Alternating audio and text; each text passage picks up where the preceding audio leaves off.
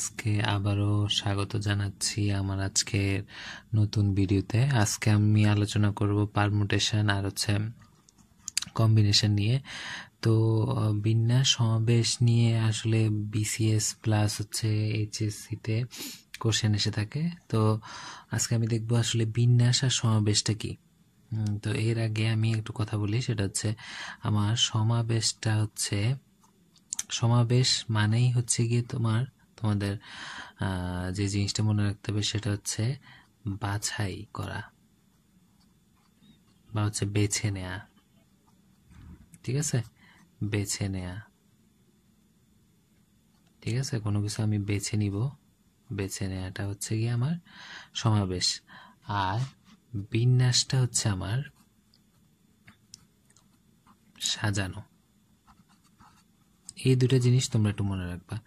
যে আমার সমাবেশটা হচ্ছে আমার বাছাই করা বা বেছে নেয়া আর বিন্যাসটা হচ্ছে আমি সাজানো কোনো কিছু সাজানো সাপোজ আমি তোমাদের এটা উদাহরণ দিই যেমন হচ্ছে বাংলাদেশ আমি বি এ এন লিখলাম তো এই বাংলাদেশ যে আমি এখানে একটা ওয়ার্ড অর্থপূর্ণ না যদি আমি এই তিনটে লেটার দিয়ে অ্যালফাবেট দিয়ে আমি একটা ওয়ার্ড বানাইলাম যা হোক ব্যান তো এই ব্যানটা আমার তিনটা লেটার আছে এখানে তো তিনটে লেটার আমার সর্বোচ্চ কতভাবে আমার সাজানো যাবে যেমন হচ্ছে ধরো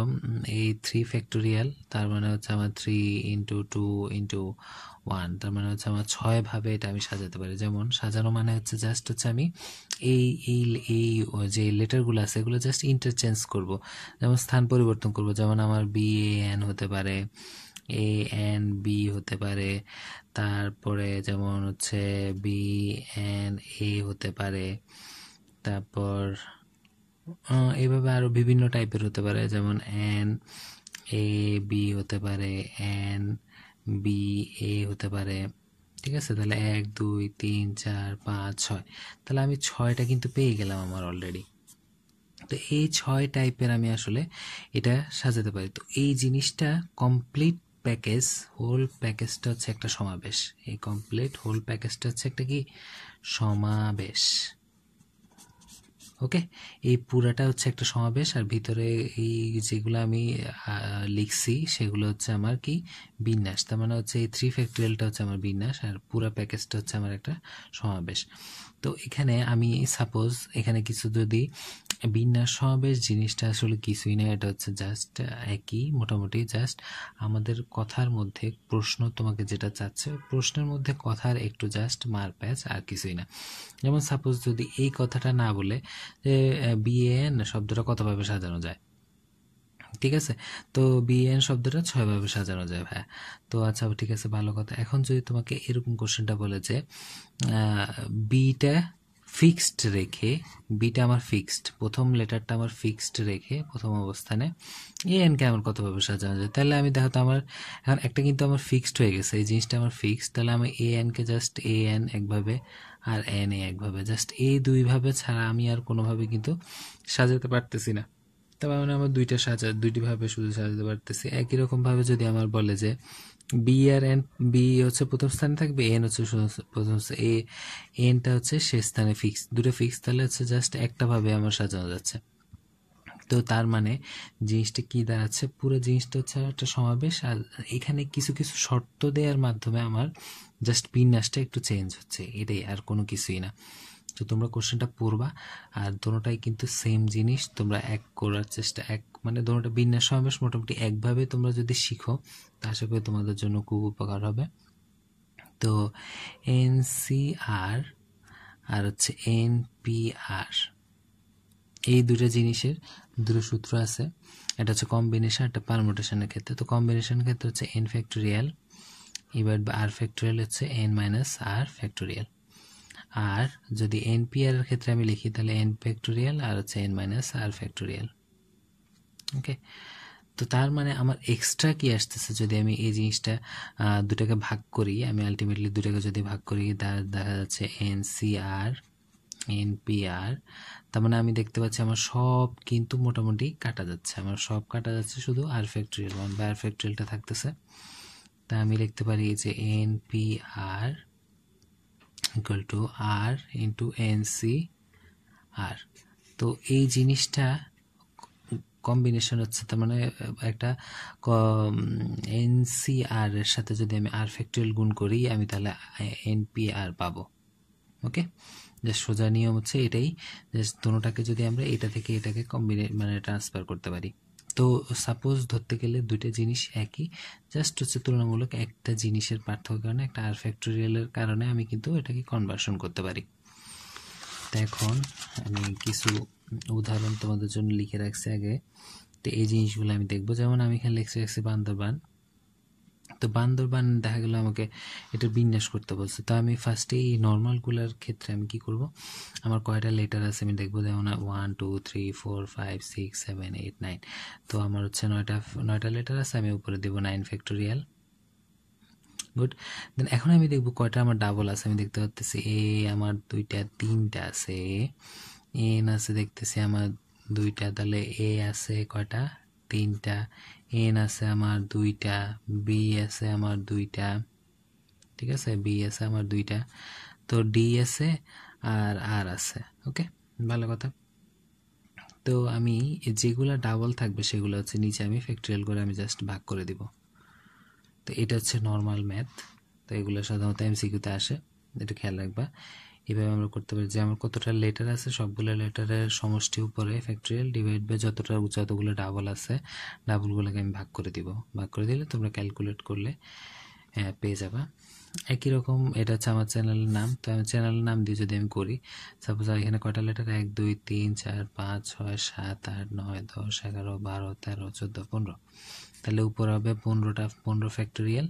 আর হচ্ছে ডাবল যতটা থাকবে যেমন আমি দেখতে পাচ্ছি এখানে টি আছে দুইটা তো আমি টু ফ্যাক্টোরিয়াল দিলাম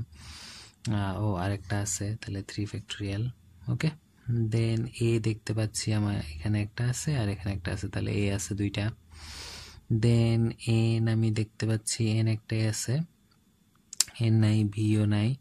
আই আছে দুইটা আমি দেখতে পাচ্ছি আই দুইটা ওকে দেন আর আছে আমার দুইটা আর আছে আমার দুইটা তো এটাকে যদি আমরা সলভ করি এটাকে সলভ করলে আমরা এটা আনসার পেয়ে যাব ওকে দেন যদি এমনটা দেয় যে তানবীরকে কতভাবে সাজানো যায় বের করো এখন আমরা দেখতে পাচ্ছি এখানে কোনো ডাবল নাই দেখা যাচ্ছে টি একটা এ একটা এন একটা ভি একটা এ একটা আর একটা তার মানে কোনো ডাবল নাই ছয়টা লেটার আছে তো হচ্ছে সিক্স ফ্যাক্টোরিয়াল তো এভাবে যদি ডাবল না থাকে তোমরা যা থাকবে সেটাই সিক্স ফ্যাক্টোরিয়ালকে আমি কীভাবে ভাঙাতে পারবো six into five into four into three into two into one দিতে পারো এটাই তো নেক্সট আমি একটা কোশ্চেন দেখবো সাপোজ বললো যে সর্বর্ণগুলো পাশাপাশি না রেখে বাংলাদেশ শব্দটি অক্ষরগুলো কতভাবে সাজানো যায় ওকে গুড তো আমরা ফার্স্টে যে কাজটা করবো আমরা সর্বর্ণগুলোকে পাশাপাশি না রেখে ঠিক আছে সর্বর্ণগুলোকে আমরা পাশাপাশি রাখবো না ঠিক আছে তো আমরা সর্বর্ণগুলোকে আলাদা করব ফার্স্টে আমরা কয়টা বিন্যাস হয় সেটা দেখব কয়টা বিন্যাস হচ্ছে আমরা সেটা দেখব তো বাংলাদেশ শব্দটা তো মোট লেটার আছে কয়টা আমি দেখি এক দুই তিন চার পাঁচ ছয় সাত আট নয় দশ তো আমার দশটা লেটার আছে টেন ফ্যাক্টোরিয়াল এখন আমি দেখব ডাবল কয়টা আছে আমার এ একটা আছে দুইটা আছে তো আমি দুইটা ফ্যাক্টোরিয়াল দিলাম বি আর নাই এনও আমার নাই জি আমার নাই এল নাই ডি নাই ই e নাই এস নাই আচ্ছা ঠিক আছে আর নাই আর কোনো কিছু নাই তো আমি জাস্ট এটাকে কি করব ক্যালকুলেটার নিলাম টেন ফ্যাক্টোরিয়াল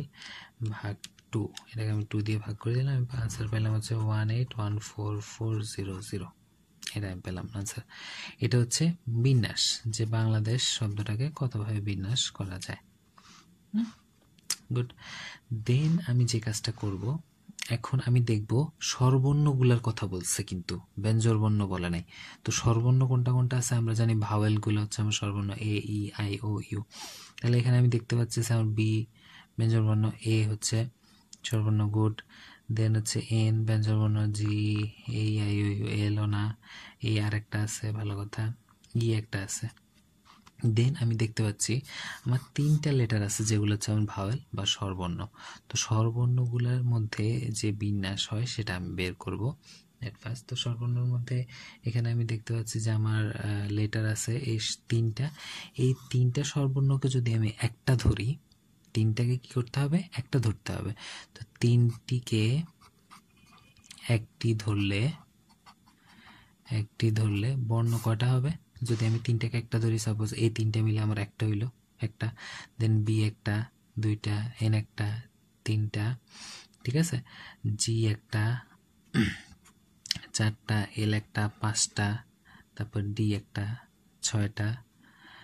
এটা তো আমার হয়ে গেল গনা ছয়টা সাতটা আটটা আশা করি বুঝতে পারছো তোমরা এই তিনটাকে আমি একটা ধরছি একটা ঠিক আছে একটা হলে দুই তিন চার পাঁচ ছয় সাত আট মানে ওই তিনটা বাদে বাকি সবগুলোকে তুমি কাউন্ট করবো ওই তিনটাকে একটা ধরলাম এক দুই তিন চার পাঁচ ছয় সাত আট তার মানে একটি ধরলে বর্ণ হবে কয়টা বর্ণ হবে আমার আটটি আমি ইংলিশে লিখলাম কিন্তু আমার সবগুলা যে যতগুলো আমি মানে হচ্ছে নাম্বার লিখবো সবগুলো কিন্তু ইংলিশ ঠিক আছে লিহা বাংলা হলেও ইংলিশে লিখতেছি আমি কিন্তু যেটা আমার সবাই চার মনে করো না তো হচ্ছে চার আটটি আমার বর্ণ আছে এখানে তো ভালো কথা আটটি ঠিক আছে তো আটটির মধ্যে আমি যদি ধরি এখন কিন্তু আমার এখানে সর্বর্ণ কিন্তু ব্যঞ্জনবর্ণের মধ্যে এক হয়ে গেছে সর্বর্ণ একটা ধরে আমি কি ব্যঞ্জনবর্ণগুলো দেখতেছি তো আটটি আটটির মধ্যে এখন ডাবল আছে কয়টা বর্ণ কি কোনো ডাবল আছে তো বর্ণ কোনো ডাবল নেই ভাই যদি ডাবল থাকতো সাপোজ ধরো এখানে বর্ণ বি এখানে আটটা আছে ডাবল সাপোজ মনে করো বি বি বাংলাদেশ ঠিক আছে তাহলে আমরা কিন্তু নিচে আবার টু ফ্যাক্টরিয়াল দিতাম তো বর্ণের মধ্যে কোনো আমার ডাবল নাই যেহেতু বর্ণের মধ্যে ডাবল নাই সো আমার এইট ফ্যাক্টরিয়ালটাই হবে অ্যান্সার তা আমি এইট ফ্যাক্টরিয়াল যদি আমি ক্যালকুলেট করি এ তোমরা শিপ দিয়ে এই যে চাপ দিলে আসবে তো করলে আমার আসবে কত four zero three two zero এখন সর্বর্ণগুলোকে বিন্যাস করব সর্বর্ণগুলোকে সর্বর্ণগুলো করলে সর্বর্ণ আমার আছে তিনটা থ্রি ফ্যাক্টোরিয়াল এর মধ্যে ডাবল আছে দুইটা দুইটা এ টু ফ্যাক্টোরিয়াল আলটিমেটলি আমার কথা হবে থ্রি ইন্টু টু আর নিচে টু টু টু কাটা তার মানে থ্রি এখন যদি আমি সর্বর্ণগুলোকে সর্বর্ণগুলোকে পাশাপাশি না রেখে মানে হচ্ছে কি কি পাশাপাশি না রেখে কথাটার মানে হচ্ছে কি কি একত্রে রেখে তো হচ্ছে আমার হচ্ছে পাশাপাশি রেখে বিন্যাস আমি বের করবো ফার্স্টে সর্বর্ণগুলোকে পাশাপাশি রেখে পাশাপাশি রেখে কতভাবে সাজানো যাবে যে আমার হচ্ছে এইট ফ্যাক্টরিয়াল মানে ফোর জিরো থ্রি টু জিরোর সাথে আমি তিন গুণ করে দিব ওকে তো আমার কত আসে যে এটার সাথে যদি আমি অ্যান্সারের সাথে তিন গুণ করলাম তাহলে আমার আসবে one two zero nine six zero এখন হচ্ছে পাশাপাশি না রেখে পাশাপাশি না রেখে জাস্ট কি করব উপরে যে বিন্যাসটা আমি বের করছি one eight one four four zero one eight one four four zero zero থেকে one two zero nine six zero just বিয়োগ করে দেবে এখন তোমার কাছে কোশ্চেন যদি চায় যে পাশাপাশি রেখে বিন্যাস বের করো